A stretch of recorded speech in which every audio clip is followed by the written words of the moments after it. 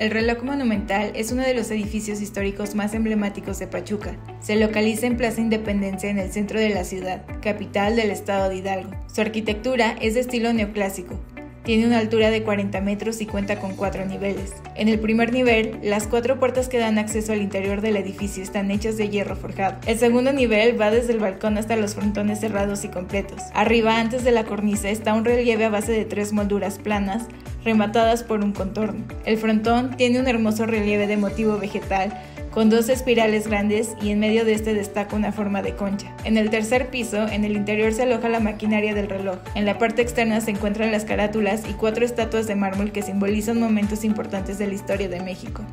La independencia que ve al oriente es una mujer de torso desnudo.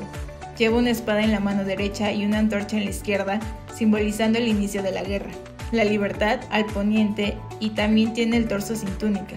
En la mano derecha levanta en alto el laurel de la victoria mismo que la corona. En la izquierda lleva una cadena rota. La Constitución está dando la cara hacia el norte. Está vestida con una túnica y un cinto a medio cuerpo. Con el dedo índice de su mano derecha señala el libro nacional que sostiene con la mano izquierda. Por último, la reforma, orientada hacia el sur, porta en la mano derecha un pergamino desenrollado y en la izquierda un libro con cierta abertura. Su cuerpo está completamente cubierto por una túnica. Debajo de cada una de las carátulas aparece un águila devorando una serpiente. Está posada sobre una poma con un festón, marcada por dos reolios y adornada por una greca prehispánica en el fondo. En el último nivel se encuentra la cúpula de cobre que resguarda el campanario del monumento.